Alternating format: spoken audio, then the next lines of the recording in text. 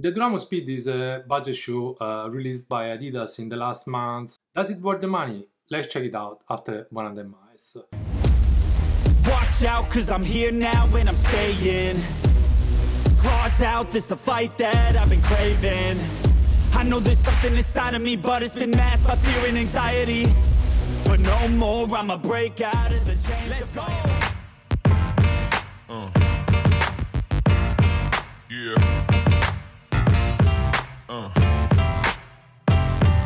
Hello guys, welcome back to the channel. In this video uh, I'll give you my opinion about uh, the Duramo Speed after 100 miles. Uh, I'm now ready to share my impressions because uh, during these miles uh, I had the opportunities to uh, run different trainings, so easy runs, tempo runs, and I also tried to have some speed workouts with the Duramo Speed. So let's check it out. As usual, I'll leave you up here the link of the initial uh, video review where you can find all the specs and uh, uh, including the uh, running dynamics collected. I'm gonna start checking the conditions of the outsole, uh, midsole and upper and uh, at the end I'll give you my thoughts. Outsole now! The outsole, it doesn't have any continental rubber, the design pattern is quite weird. I believe it's the first time I see this pattern in, in the Adidas shoes a uh, lot of rubber, but flexible uh, and uh, still in great conditions up to 100 miles. I run on the road and in the treadmill uh, uh, most of the times. Uh, as you can see, really few signs of wear. I even tried the shoe um, in wet conditions and the grip was still okay, so not bad at all. I'm not sure if this is Adiwear rubber, but it looks pretty solid and quite durable and it doesn't collect any stones like uh, other shoes in the lineup. So overall I'm quite happy with the outsole. Uh, maybe it is a bit too much uh, rubber, probably less rubber would be better. Midsole now! Moving on to the midsole, uh, you can check the running dynamics uh, collected in the, in the, initial video review. So basically are the same because the condition of the shoe is uh, pretty similar. I haven't found any major differences. Uh, despite it is Lightstrike, uh, I like it. It is still firm, but uh, also with a, decent cushioning.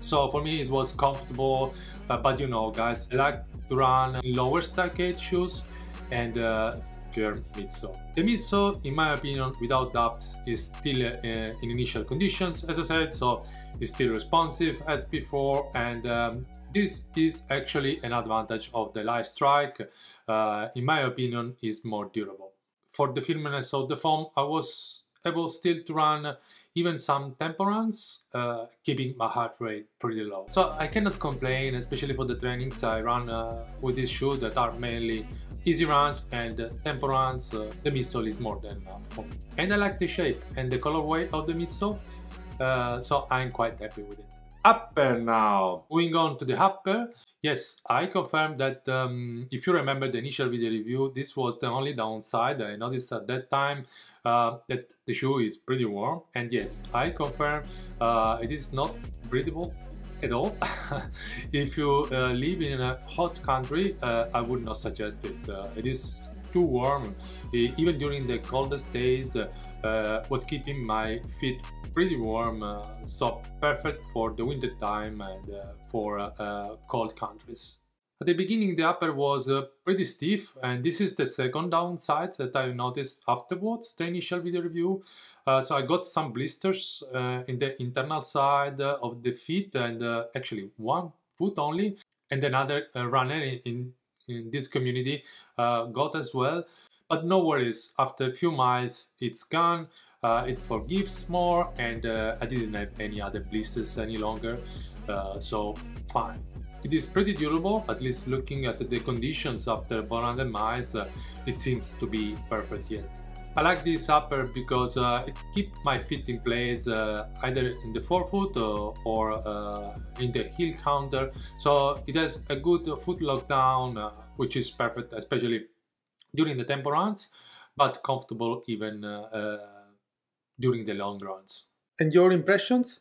The impression I collected during these miles uh, is that uh, the Duramo Speed is uh, light, responsive, uh, not so efficient uh, because the lack of the torsion system or the energy rods uh, but a good compromise for easy and tempo runs, even if I would not suggest it for uh, interval trainings.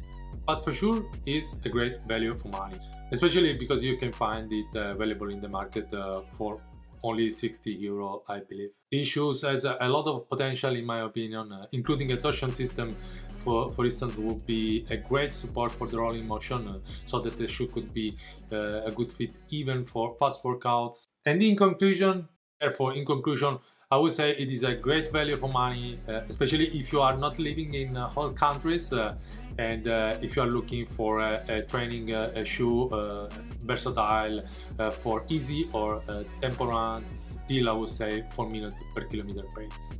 So I highly suggest it uh, instead of paying another 60 euro for a Boston 12 uh, which in any case was not satisfying me either for tempo runs or um, fast workouts even if it is more comfortable during the easy runs because the Lightstrike 2.0. I hope guys this video helps to answer some of your questions. If not, please raise your questions uh, in the comment down below and as usual I will be uh, really happy to answer it. If you like this content, please don't forget to leave a like, it will be a support for the channel, for my work and YouTube knows that this video doesn't suck. Only 5% of you uh, watching the videos is uh, uh, subscribed to the channel, so please subscribe. As always, as always, thank you for your support for watching and till the next time, keep running. Ice in my veins, I've been driving this train.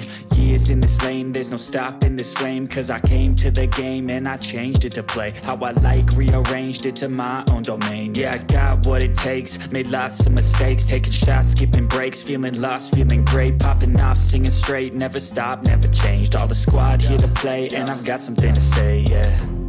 I work hard each and every day I get lost in the words I say. I don't push pause, no I push play. I won't stop till I make a change. I withdraw on the things I make. I turn flaws into flawless traits. I build tall, never capped in space. I won't stop till I hear him say